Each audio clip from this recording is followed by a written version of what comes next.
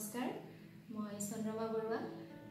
লকডাউনত বহুদিনৰ পৰা ঘৰত থাকি থাকি আমনি লগা সময়খিনিত কিছুমান ডিজাইন বনাই আছোঁ। তাৰে আজি ডিজাইন এটা আপোনালোকৰ ওচৰত দেখুৱাবলৈ বিচাৰিছোঁ। এতিয়া গৰমৰ দিন আহি আছে গতিকে মই আজি আপোনালোকক কম সময়ৰ ভিতৰত কেনেকৈ ছামাৰ ৱেৰ এটা প্ৰস্তুত কৰি উলিয়াব পাৰি তাকেই দেখুৱাম। এতিয়া আহক ডিজাইনটো প্ৰস্তুত কৰিবৰ কাৰণে প্ৰয়োজনীয় সামগ্ৰীখিনি মই দেখুৱাইছোঁ। এয়া হৈছে আপোনাৰ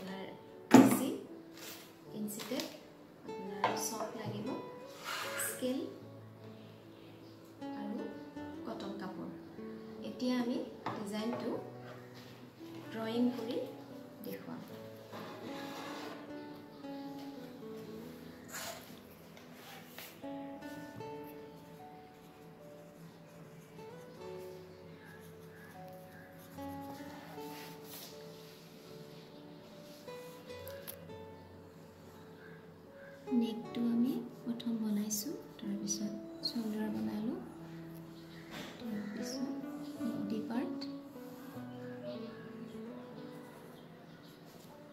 তাৰপিছত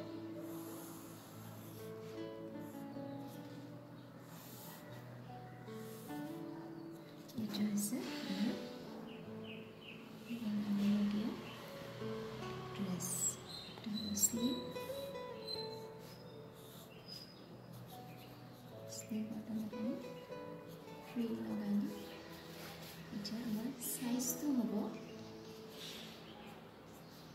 ফ'ৰ ইয়াৰ পৰা এতিয়া আমাৰ যিটো শ্বল্ডাৰ পইণ্টৰ পৰা একদম তললৈ যিটো লেন্থ আছে সেই লেন্থটো আমাৰ লেন্থটো হ'ব থাৰ্টি ছিক্স তাৰপিছত আমাৰ ইয়াৰ পৰা বডিৰ যিটো পাৰ্ট আছে ৱেষ্ট লেন্থ যাক আমি।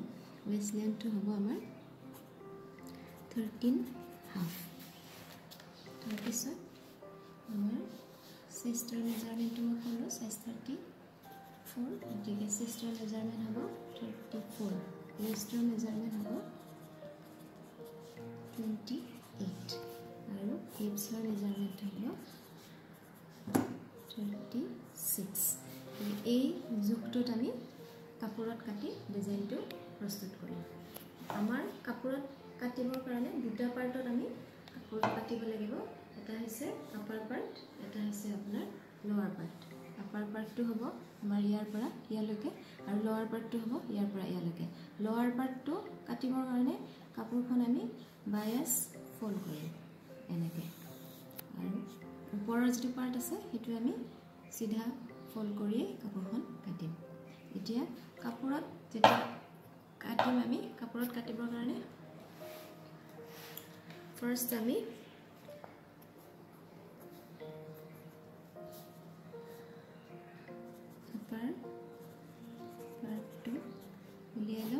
তাৰপিছত ছেকেণ্ড আমি লৱাৰ পাৰ্টটো লৱাৰ পাৰ্ট উলিয়াই ল'ম।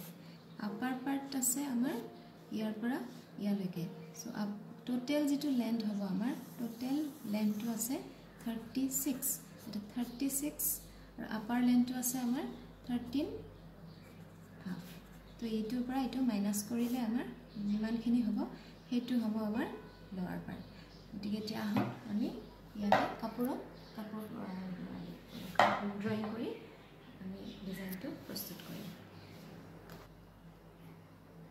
এতিয়া আহক ডিজাইনটো কাপোৰখনত কেনেকৈ বনাই দেখুৱাই দিয়ক এইটো হৈছে আমাৰ বনাবলগীয়া কাপোৰ কাপোৰ আছে ইয়াত আপোনাৰ two point twenty five centimetre কাপোৰখন কাটিবৰ কাৰণে আমি কাপোৰখন ওলোটাই লওঁ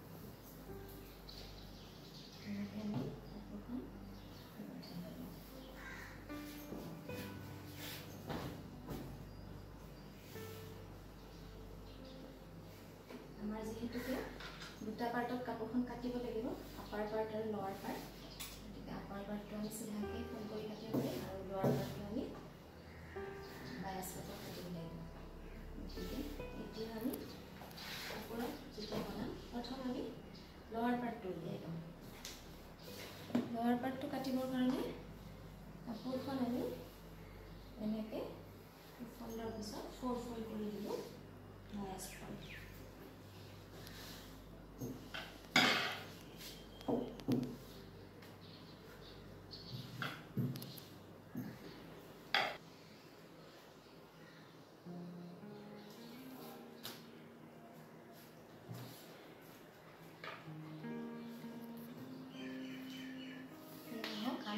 শাড়ীখনত ডিজাইনটো কাটি মেটি প্ৰথম আমি ল'ম আমাৰ যিটো লেন্থ আছিলে সেইটো আছিলে থাৰ্টি ছিক্স আমি থাৰ্টি ছিক্স ল'লোঁ। তাৰপিছত আমাৰ যিটো ইয়াত আপাৰ যিটো লেন্থ আছে আপাৰ লেন্থ আছে থাৰ্টিন হাফ এতিয়া টোটেল যিটো লেন্থ আছে থাৰ্টি ছিক্স থাৰ্টি ছিক্সৰ পৰা থাৰ্টি হাফ যেতিয়া মাইনাছ কৰিম আমাৰ টুৱেণ্টি টু হাফ ওলাব। গতিকে আমি লৱাৰ পাৰ্টটো কাটিবৰ কাৰণে ইয়াৰ পৰা আমি টুৱেণ্টি টু হাফ ল'ম। তাৰ লগত আমি ষ্টিচৰ কাৰণে এক ইঞ্চি এক্সট্ৰা ল'ম মানে টুৱেণ্টি থ্ৰী হাফ গতিকে আমাৰ এতিয়া এইখিনি লেন্থটো আমি চাই ল'ম। টুৱেলভ হাফ আছে ইয়াত। গতিকে এই পাৰ্টটো আমি সমানেই টুৱেলভ হাফ ৱেষ্টটো কাটিবৰ কাৰণে টুৱেলভ হাফ ল'ম। প্ৰতিটো মেজাৰমেণ্টে সমানে সমানে আহিব আৰু ইয়াৰ পৰা যিহেতুকে ইয়াৰ পৰা এইখিনিলৈ আমাৰ টুৱেণ্টি থ্ৰী হাফ আছে চ' ইটো পাৰ্টতে আমাৰ twenty three half twenty three half হ'ব। ইয়াৰ পৰাও এনেকৈ ছেম টুৱেণ্টি থ্ৰী হাফ ইয়াতেও ছেম টুৱেণ্টি থ্ৰী হাফ এতিয়া তেনেকৈ আমাৰ গোটেই তলৰ লোৱাৰ পাৰ্টটো আমাৰ ওলাই যায় মিলাই দিলোঁ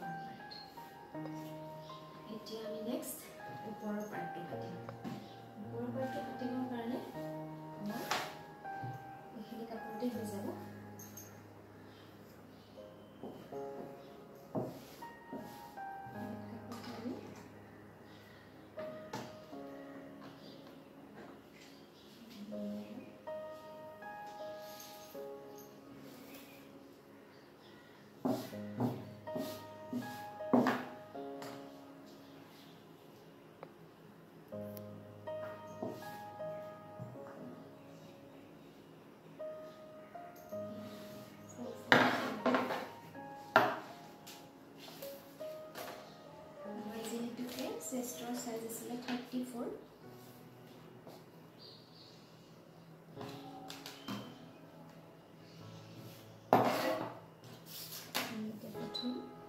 লেন্থটো ল'ম লেন্থ আছে থাৰ্টিন হাফ তাৰ লগত আমি আৰু ওৱান প্লাছ কৰি ফৰ্টিন পইণ্ট ফাইভ কৰি ল'ম এইটো হৈছে আমাৰ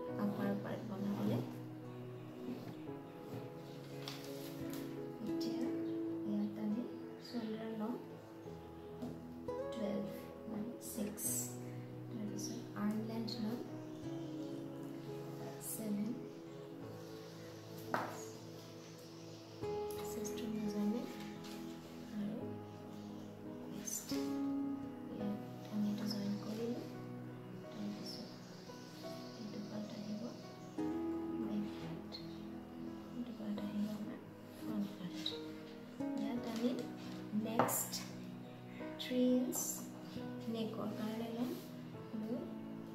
6.5 6.5 face support 1 to 9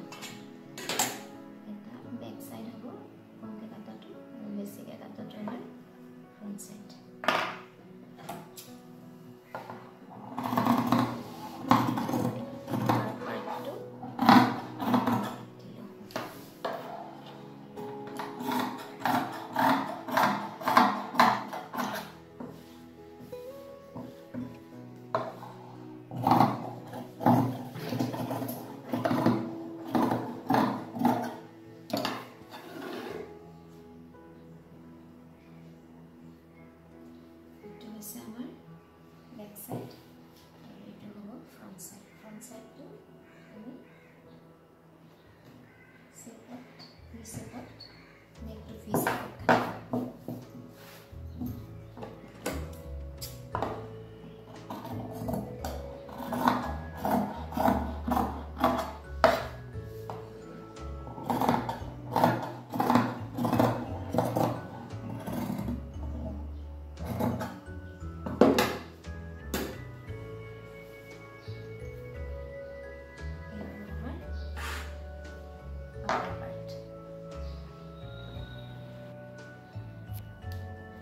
এতিয়া আমাৰ কাপোৰখিনি কাটা হৈ গ'ল আৰু এটা কথা এইটো ওপৰৰ পাৰ্টটোৰ লগত তলৰ পাৰ্টটো জইন কৰোঁতে আমাৰ এটা ডিজাইন এটা দেখুৱাইছিলোঁ মই ইয়াতে এই পাৰ্টটো তলৰ পাৰ্টটো এনেকৈ তলৰ পাৰ্টটো আমাৰ এনেকৈ এটা চেপত আহিছে। এই চেপটো মই লোৱাৰ পাৰ্টটো দেখুৱাই আছোঁ তলৰ পাৰ্টটো যেতিয়া এনেকৈ আমি বনাই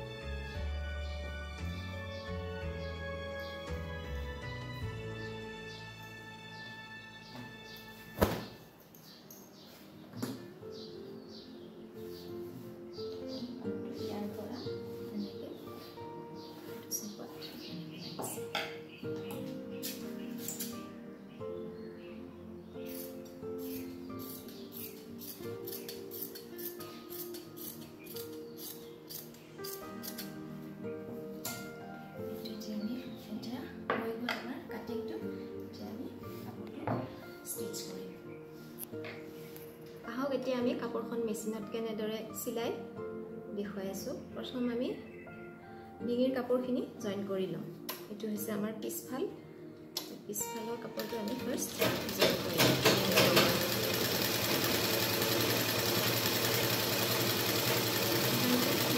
কাপোৰখিনি আমি এনেকৈ লগাই ল'লোঁ। এতিয়া শ্বল্ডাৰটো আমি জইন কৰিম। শ্বল্ডাৰটো জইন কৰাৰ পিছত আমি ইয়াতে শ্লিভটো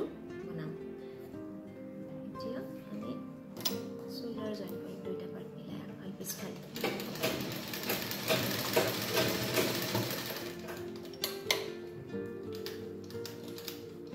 এতিয়া আমি শ্লিভটো জইন দুইফালে জইন কৰাৰ পিছত আমি ছাইড দুটা জইন কৰি দিলোঁ।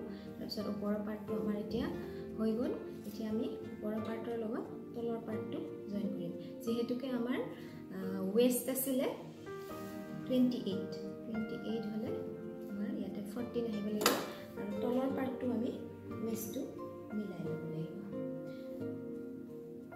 এইটো হৈছে আমাৰ তলৰ পাৰ্ট। এতিয়া তলৰ পাৰ্টটো ৱেষ্টৰ লেভেলটো মিলিব লাগিব। চাওক এয়া মিলিছে। এতিয়া আমি দুপাৰ্টৰ এয়া আমাৰ এয়া আমাৰ ড্ৰেছটো এতিয়া প্ৰস্তুত হৈ গ'ল।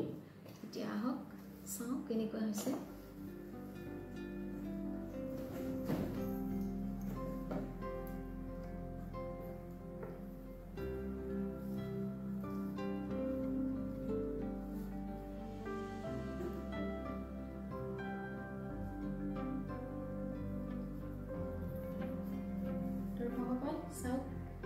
হৈছে কম সময়ৰ ভিতৰতে এটা ধুনীয়া চামাৰৱেৰ প্ৰস্তুত কৰি উলিয়ালোঁ। ইচ্ছা কৰিলে আপোনালোকেও এনেকৈ ঘৰত থাকি আজৰি সময়ত বনাব পাৰে।